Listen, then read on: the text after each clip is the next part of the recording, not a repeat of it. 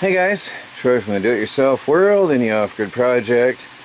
Been a sunny day today out there and I've got various things going on. I'll give you an overview of everything here today and then we'll do breakdowns on individual videos. But I'm starting out inside because uh, I've got the main project of the day has been off-grid work.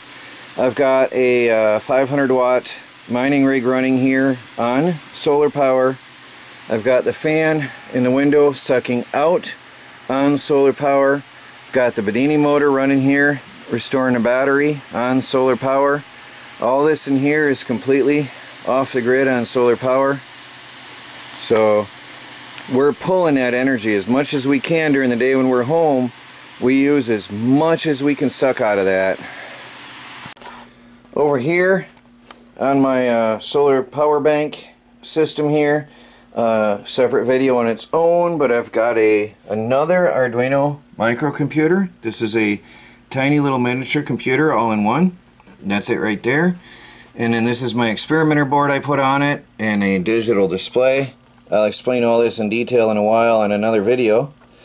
But what we got going on here is a tiny little microcomputer which is powered by the solar power coming in. That's a 12 volt line.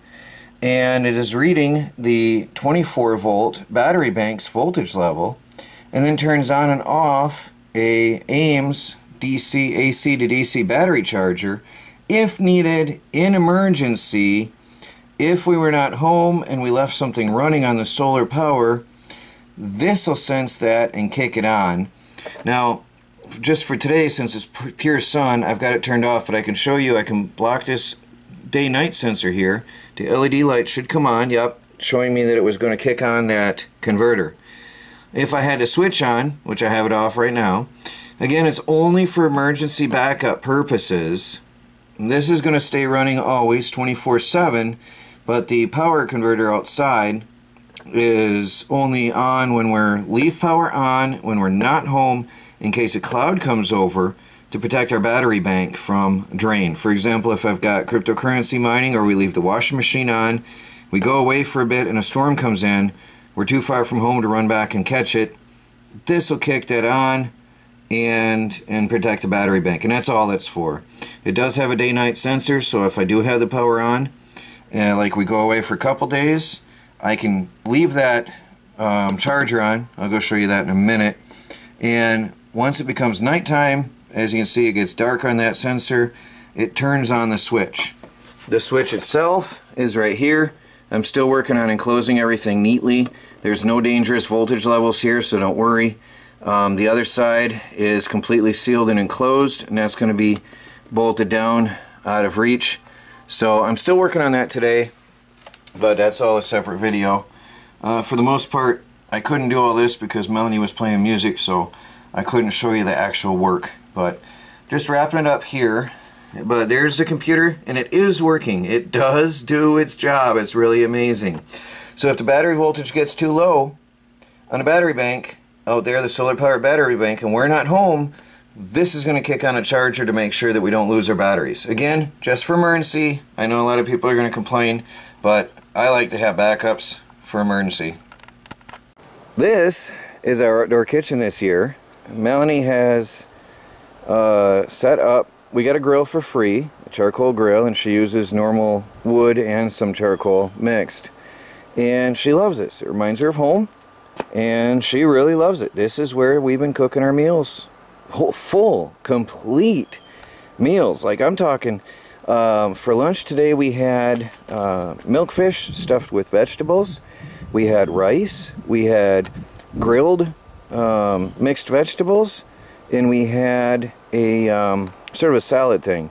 All the cooking was done right here. Every day, mostly most of the evenings when we're home, this is our outdoor kitchen. She loves it. Again, it reminds her of home. That's her option, and she loves it.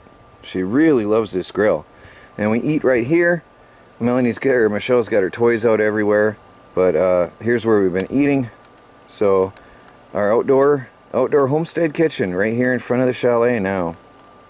Over here, I've been working on the electronics. There's the AIMS power. I took all the covers off and everything, and I've been doing the electronics work I've got the AIMS Power battery charger here hooked up entirely. Um, I just threw this wiring together. I didn't have the camera. Uh, I just wanted to get it done. It's been bugging me for months that I wanted to get this on here. Honestly, all I did is I ran two wires over to here. The inverter has extra, extra fat wires. The inverter is only 1,000 watts, and those are from my um, nearly 4,000 watt inverter. So the wires are big enough, so I just jumpered off there and brought in two wires into the AIMS charger and that is turned on and off by the microcomputer, the little Arduino inside.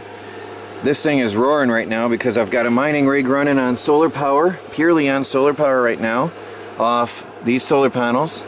So, uh, but it's coming near the end of the day, so I'm gonna have to shut that off. We see the shadows here. I'm gonna have to shut that down in a minute here. But I'm giving you an overview of what we've done today. Just been running around all over the place. But, uh, and a lot of family time. Honestly, today was a nice family day, so I didn't have the camera with me so much. I'm, I'm sure that's understandable. Melanie and I have been on the go so much recently, and I've just been coming out and picking here and there as I go. So, um, just giving an overview of everything right now. Anyway, so this guy is a um, AC one. It actually goes from 90 volts to AC input, uh, oh actually this one is 110 to 120 volts AC. I thought it had a wider range. And then it puts out 24 volts, 12 or 24 volts DC to keep your battery banks topped off in case you need it. Which exactly, I mean this is basically, it's a 12 or 24 volt battery charger. Okay? And I wanted it for exactly right here, my off-grid homestead for what I explained. No, no point in repeating that, but there it is. And thanks to AIMS Power for that device. So the reason the lid is off is I'm redoing the cover and letting things air out here because it's been closed up forever. So um, let me take you over there and show you what I've been up to on the, the roof and the enclosure of this. So out here in the yard, I've got my roofing tire that I used on the camper and I've patched up, it's been bugging me forever, I've patched up the nail holes. I had thought that by putting the nail holes on the high ridges that the rain wouldn't be able to get down inside, but still it manages to get in there somehow on occasion on me. So I have put my roofing tar in them and I've got these sitting out here to to cure uh, in the, for the rest of the day. Tonight at sundown I'll put them back on but I wanted them out here for as long as they can sit and uh, I'll rebuild that battery box better than ever and leak free. I know the little nail holes didn't get a lot of water in there but I don't like any water in my battery bank so we'll be fixing that up. That's uh, definitely helpful now. The uh, broken solar panels are on hold. There's nothing going on here until eBay decides the case. And uh, we'll see what happens there. But there they sit since the day I last showed you I was testing voltages on them. The um, camper project is on hold just sitting there. I um, I'm not even doing anything in there at all right now. It's all on hold. I haven't even done any work on the inside since the last day I showed you. The whole project is just sitting there waiting. The four solar panels were pulling in about 100 to 130 watts together all four together. And um, that was it. So I did fire up a cryptocurrency mining rig on that one day. I did have it running but I had to shut it down because the uh, solar panels were not put, put off uh, what is that a thousand watts of solar panels were putting out about 120 130 watts of power combined and I was draining the battery so that was the end of that so here they sit waiting for a judgment from eBay. And I don't dare do anything else. The rest of them are up against the house over here, out of the weather, waiting for a decision. And that's where they've been since the day I measured them on video and showed you. So that's it for that. So Melanie and Michelle are picking blueberries.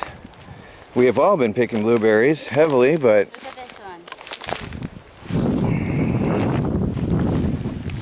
The oh, they're huge this year. Oh, wow. For wild blueberries, that's incredible.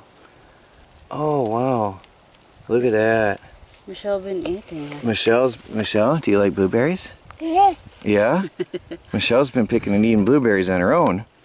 Good There's job. one. Here, Pick this one up. there's some blueberries, Get Michelle. it now. You know I'm recording, don't you? Ah, you're gonna be like that. Okay. The blueberries are incredibly fat and juicy this year. We've been picking already quite a bit, but um, not as much as we would like to have this year. Anyway, natural resources. There's a lot of good food going on here on our property. Well, guys, I can finally put that away. I've held it there for uh, what is it, two weeks now, I think. That's been there. I won the eBay case. We settled actually. So the solar panels are ours to keep. Uh, just today I was saying that I wasn't doing anything with them since day one. And uh, now I can experiment on them, see if we can uh, get something useful out of them but it'll be a project of experiments anyway. So they're here. So that'll be a video series. Anyway, that's settled. The uh, obviously return shipping would have been outrageous, so it just isn't worth it. They didn't want them back. I've been working out here. I've been using the uh, sickle, cutting the grass down, and I ran another set of wires See if I can get around here without zapping myself in a funny place. Funny for you.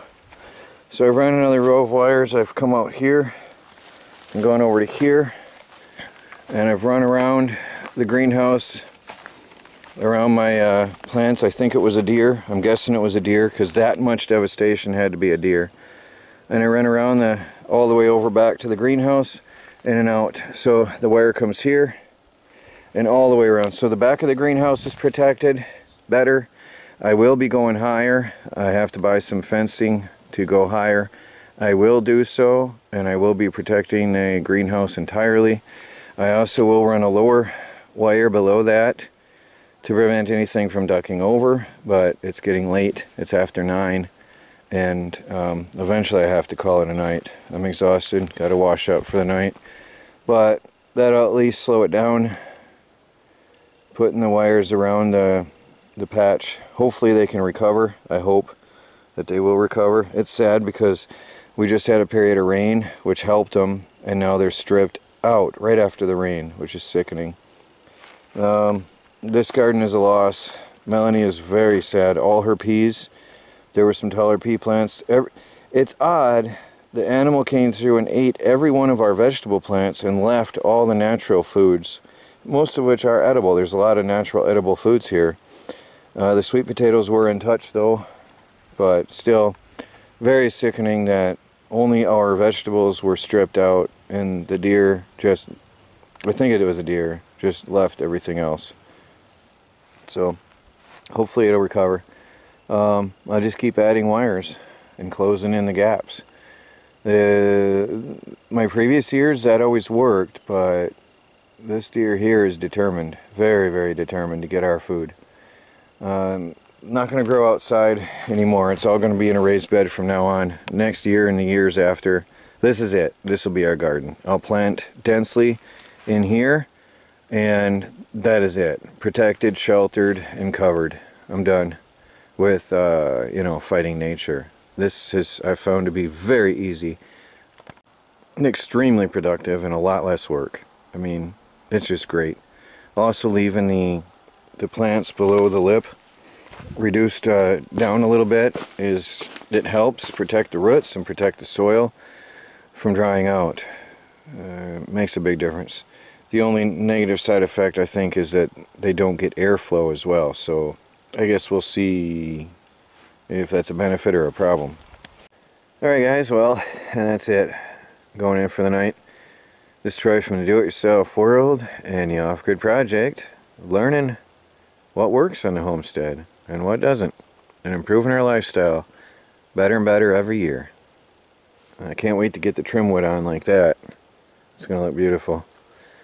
Alright, please like, subscribe, and share, and follow our daily videos.